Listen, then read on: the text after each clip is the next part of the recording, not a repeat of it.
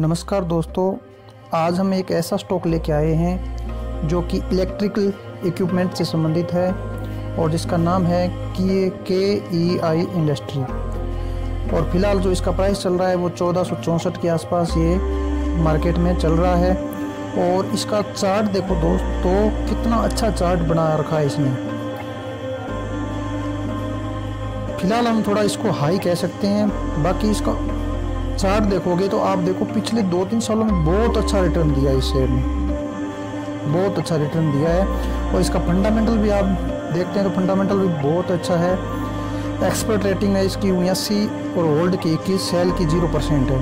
Market cap है तेरह हज़ार करोड़ है। मार्केट कैप है जो एक अच्छा मिड कैप शेयर कह सकते हैं। और डेप टू इक्विटी फ्री है।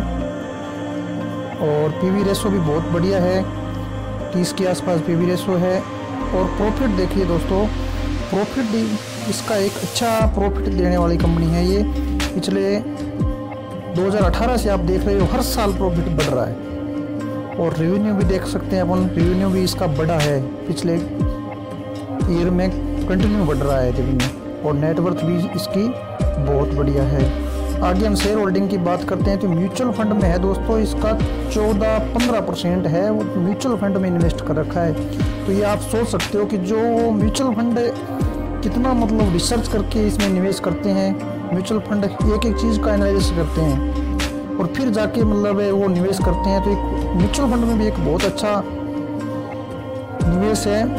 तो म्यूचुअल फंड देख सकते हैं, आप चार परसेंट का ये है Franklin Build India direct fund growth है, इन्होंने निवेश किया है। और सिमिलर स्टॉक की बात करें तो इनके Havells India C G power Polycab India सभी बढ़िया कंपनियाँ हैं, हमारा राजा बैटरी पिनोलेक्स कैबर सभी बढ़िया शेयर हैं। उन सब में ये इन्होंने बहुत बढ़िया अच्छा प्रदर्शन किया है। तो इस हिसाब से हम देखें तो एक ये बहुत अच्छा शेयर कह सकते हैं।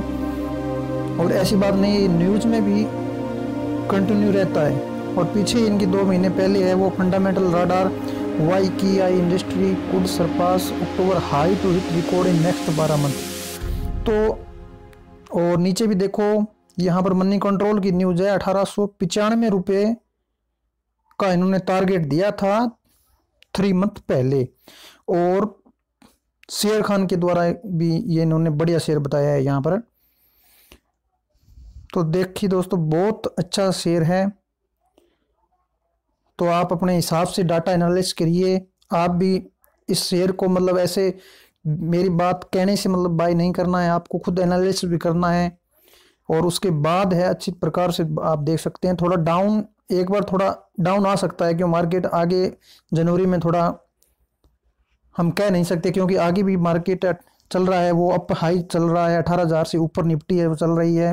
और बैंक निफ्टी भी तियालीस हज़ार चौवालीस हज़ार के आसपास चल रही है। तो एक बार मार्केट का थोड़ा आप देख सकते हैं, पाँच दस दिन, पंद्रह दिन थोड़ा मार्केट के हिसाब से आप इसको बाई कर सकते हैं। तो ये एक बहुत अच्छा शेयर हो सकता है दोस्तों आपके लिए 2023 में। और इसी के साथ हम कल एक नया वीडियो लेके आएँगे। तब तक के लिए दीजिए इजाज़त। धन्यवाद।